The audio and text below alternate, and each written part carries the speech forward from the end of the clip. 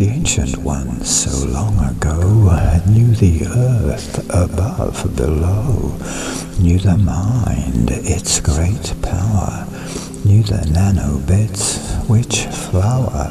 in between the empty spaces each and every one now faces, where we let go, no more resisting thoughts we think which keep persisting the ancient ones so long ago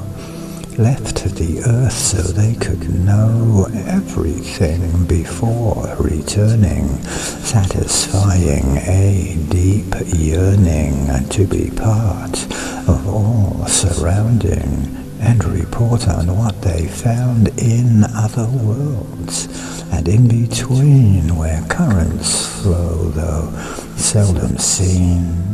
the ancient ones,